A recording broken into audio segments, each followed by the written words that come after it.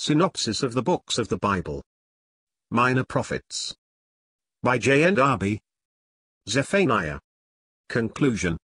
To whom Zephaniah's prophecy relates, and in what manner.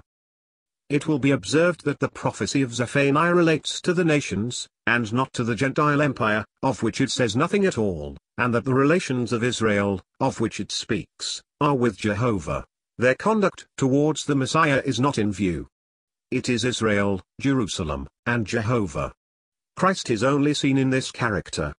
The special ways of God in the Gentile empire, in the mission of his Son, and in the state of the Jews, consequent upon his rejection, are quite left out, in order to dwell only on the judgment of Israel on account of her relationship with Jehovah her God.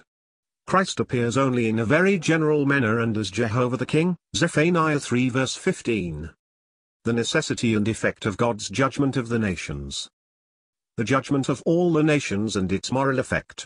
The absolute necessity of this judgment, since Israel among whom God dwelt would not hearken, are most plainly declared, and their object and their practical effect are pointed out with more precision than perhaps in any other prophecy, with the clear and distinct statement that it is when God executes judgment upon the gathered nations that they will learn the pure language and call on Him the address to the remnant, and their character, and Jehovah's delight in them are stated with exquisite beauty,